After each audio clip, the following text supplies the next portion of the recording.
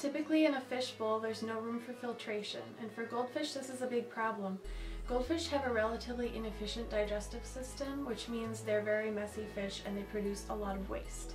So goldfish actually require really powerful filtration. Without filtration, toxins will very quickly build up in the very small space of the bowl, and at best, this could seriously harm your fish.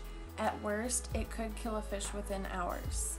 Toxins from fish waste can poison the fish directly, but they can also, over time, weaken the fish's immune system and make it more vulnerable to disease.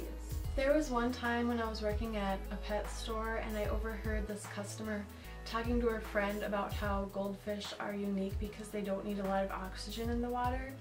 And that's just completely untrue.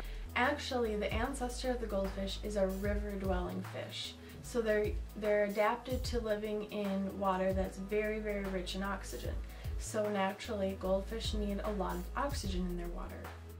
And that's another reason why bowls are bad. Bowls, because of their round shape, have a very small amount of surface area compared to the volume of the water, and the surface is where the oxygen is able to enter the water. So because of that small surface area, there's not enough oxygen in bowls. Think about it this way.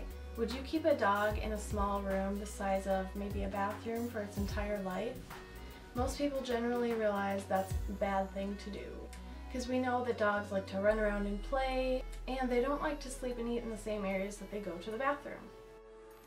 In the same way, why would goldfish not prefer more space over less space? The more space goldfish have, the more opportunities they have to swim around, interact with their environment, and to do some of the behaviors that come naturally to them like foraging in the gravel. And the last thing I want to talk about is that goldfish are really big fish. Now most of the goldfish you see at the pet store are really small because they're really young, but actually goldfish have the potential to grow really big and really fast.